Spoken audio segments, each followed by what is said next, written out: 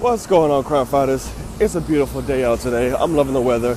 I'm wearing a fucking jacket, so I'm burning. I wasn't even expecting it to be this damn hot. But um, I just wanted to say to you guys that uh,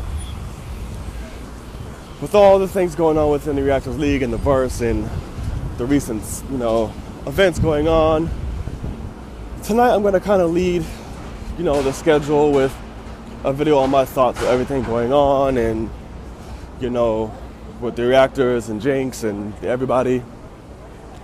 Just to, I want to speak my thoughts, I want to speak my piece on it, and I just want to kind of let you guys know where my head's at with everything and just kind of talk about it all. I think it's an interesting time and I think it's an interesting subject, and I'm not going to do it to call anyone out or do anything like that or wherever it may be, you know, because I don't want to get involved in that. But I do want to share my side and my thoughts on it and things like that, and then we can kind of talk about it. Um, so yeah, so I just want to let you guys know that, so let you know what you can expect, you know, come tonight, and you know we can kind of talk about it because, like I said, it's definitely interesting. All right, so I'll see y'all then.